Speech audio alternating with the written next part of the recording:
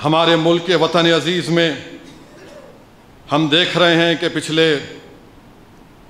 दस पंद्रह दिनों में बहुत से ऐसे वाक़ात हुए हैं। हमारे शहर में कोई खड़े होकर कहता है कि मैं हिंदू राष्ट्र बनाऊँगा। कोई कहता है कि फुलां कर दूँगा।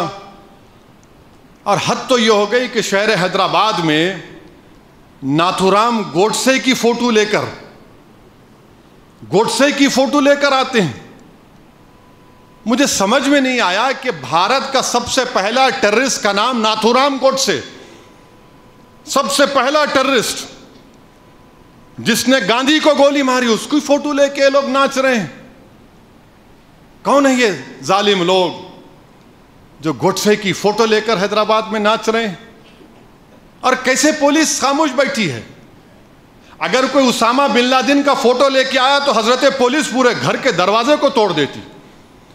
मगर ये हज़रत गोट से हैं, क्या रिश्ता है आपका इनसे बताओ? भाई, बिन लादेन की अगर फ़ोटो लगा लिए, या ऐमन अल जहरी की फ़ोटो लगा लिए, पूरा मीडिया आ जाता। ओ no, Hyderabad has become the hot bed यहाँ पर मंजलिस वो कर रही है।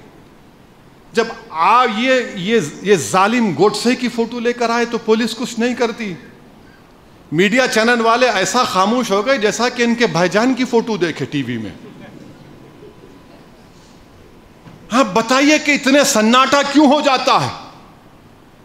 गोडसे की फ़ोटो लेकर हिंदू राष्ट्र बनाएँगे?